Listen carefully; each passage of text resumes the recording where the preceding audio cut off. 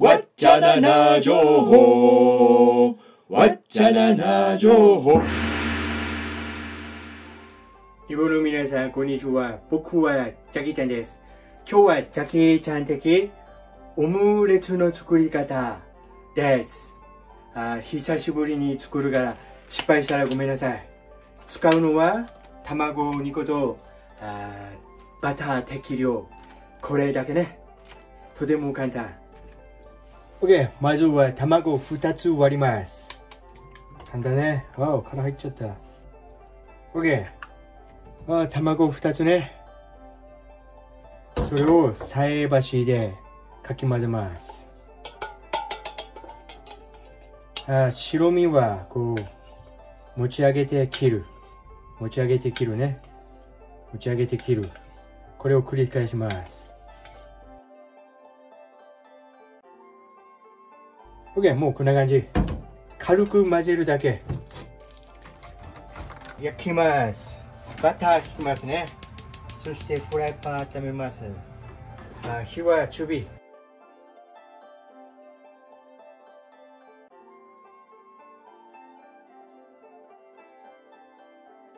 バター溶けてフライパン温まってきたら卵投入あーいい匂いしてきた。もうちょっとね。OK GO よ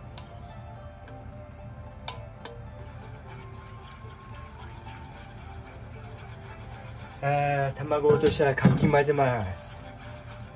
そしてスクランブルエッグになる前に形整えますね。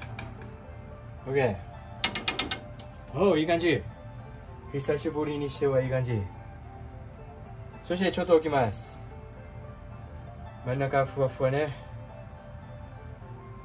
おおいいよ。そしたら外から固まってくるのであひっくり返しやすいようにちょっとだけこう剥がしていく。OK いいね。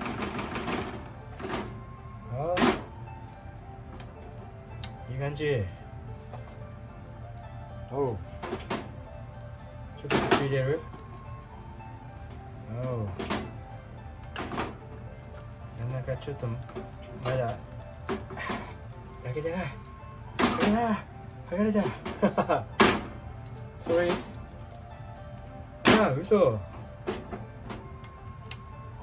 れ返る ?OK これひっくり返す。ひっくり返すくり返す。おう。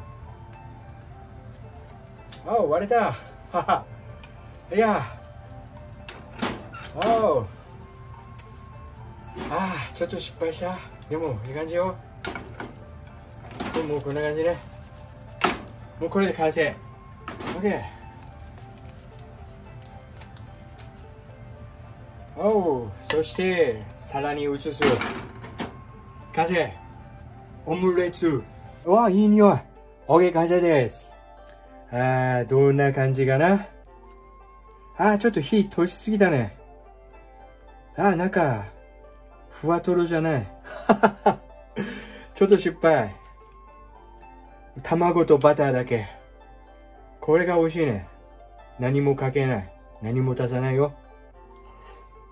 うん。うん最高うん。これが僕大好き。卵の美味しさ。うん。もうちょっとね生中身が半熟だったらよかった。ちょっとパサパサね。それでも半熟のとこあるよ。うんおいしい。バッチリね。おう。うんうん。やばい。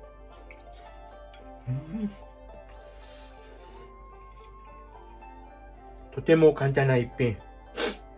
オムレツぜひ。お家でも作ってみてください。うん。あっという間。うん。以上。ジャッキーちゃんでした。ああ今日のオムレツは、ちょっと失敗です。またね。バイバイ。